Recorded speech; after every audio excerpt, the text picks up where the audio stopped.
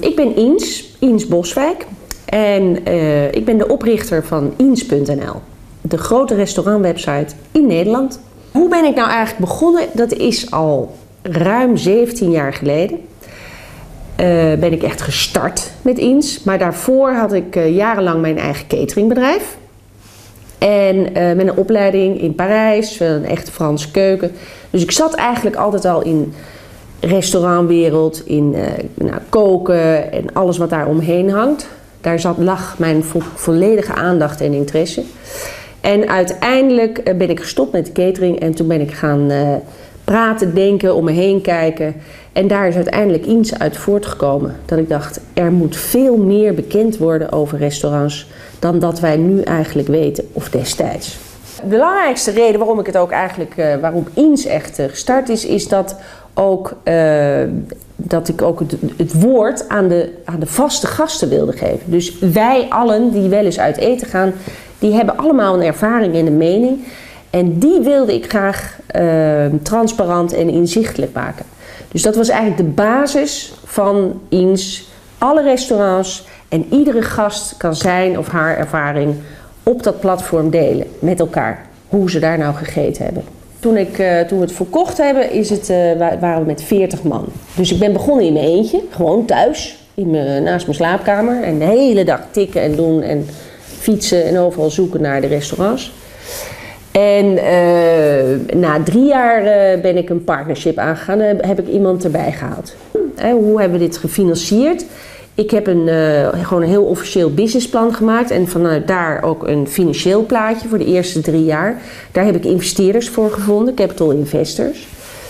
Dat ging toen alleen over print, Weliswaar wel met het eerste aanzet voor een website bouwen. Maar dat was nog een hele simpele manier van, van weergeven. En het hele zoeken erachter. Nou, daar heb ik ook een, een hele gang voor moeten maken. Um, en uiteindelijk is er natuurlijk nog veel meer geld in de loop der jaren geïnvesteerd. Want zeker toen alles offline, van offline naar online ging en het hele systeem nou, nou, nou, we waren daar later, na acht jaar, weer helemaal opnieuw gebouwd moest worden.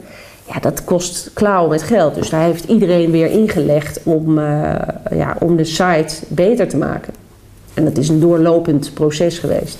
Ja, ik ben niet een regulier uh, ins.nl is niet een regulier internetbedrijf geweest. Uh, want als je nu ziet tegenwoordig dat, uh, dat veel jonge ondernemers, die de echte start-ups, die beginnen een internetbedrijf of een idee of een soort dienst online met het doel om dat ook binnen drie jaar te verkopen. Dus er wordt dan veel geld ingepompt in de techniek en in de marketing en dan moet het het zijn of niet. En ik heb daar natuurlijk een hele lange weg voor genomen, van 17 jaar in zoverre, waarin natuurlijk wel de basis was offline, de print, de gidsen.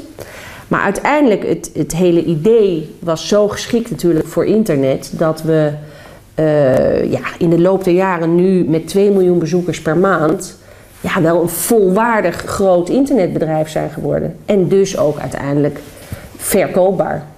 Uiteindelijk uh, uh, hebben wij met de, met de aandeelhouders uh, natuurlijk afgesproken dat we, dat we naar een bepaald punt zouden toewerken om toch het bedrijf ook verkoop klaar te maken.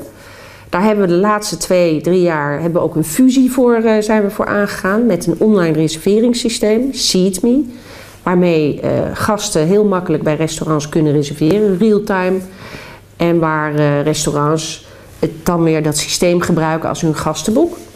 Dat was een heel belangrijk moment voor INS en ook voor SeatMe.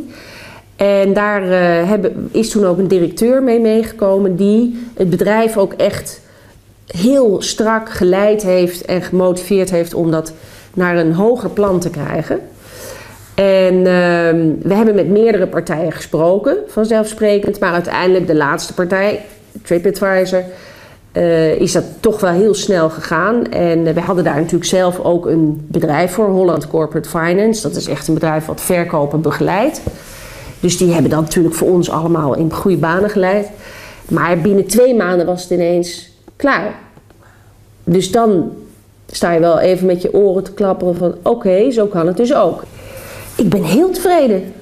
Nou, kijk, ik, ik, nou ja, nee, ja, ik zeg het misschien niet iedere dag meer, maar ik ben heel tevreden en heel trots dat het bedrijf op zo'n punt is gekomen. En dat het nu in handen is van een partij, welke voor mij heel logisch is.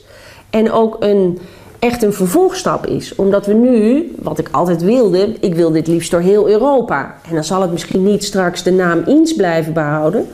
Maar in ieder geval hoop ik nog steeds op dat één systeem voor heel Europa. Zodat dat je, het maakt niet uit waar je naartoe gaat, dat je weet hoe moet ik zoeken, wat, wat weet ik te vinden. En dat het dus door lokalen wordt ingevuld. Nou, dat hoop ik dat dat natuurlijk nu wel uitgerold gaat worden. Nou, ik heb het inderdaad nu verkocht. En dan wat?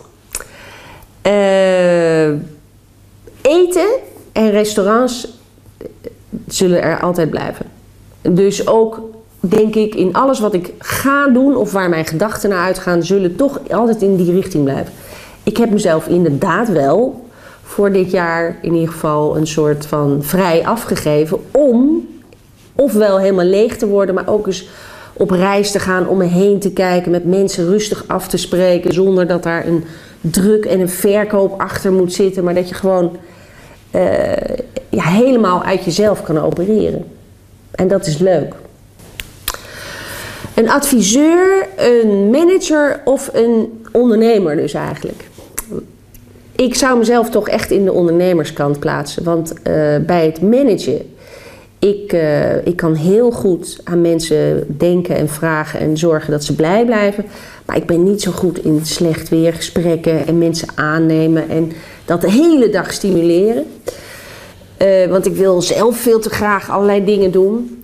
En dat geldt uh, voor adviseur ook. Ik vind het heel leuk om mensen te adviseren, maar ik vind het dan ook wel heel leuk als ze er wel wat mee doen. Dus ik raak dan ook wel geïrriteerd als er niks mee gebeurt. Dan denk ik, ja, waar doe ik het dan voor? Dus doe mij maar de ondernemer, dan kan ik gewoon weer een uh, nieuw eigen bedrijf opzetten. En uh, daar, nou, dat zie ik ook echt wel gebeuren. Kijk of het echt van toegevoegde waarde is voor welke doelgroep dan ook. En als dat zo is, dan kun je het ook groot maken. Omdat het dan iets is wat A, echt uit je tenen ook zal komen. Maar als je kunt benoemen en aanstemmen van kijk, daar is gewoon een gebrek aan of daar hebben ze dit echt nodig. Ook al heb je geen onderzoek gedaan, want dat heb ik ook nooit bij INS gedaan. Dat geeft, ja, dat geeft zoveel uh, zekerheid en zelfvertrouwen dat je ja, en dat vind ik ook het belangrijkste gevoel eigenlijk. Als dat er gewoon is en blijft, dan, dan kun je een bedrijf of een product of een dienst kun je groot maken.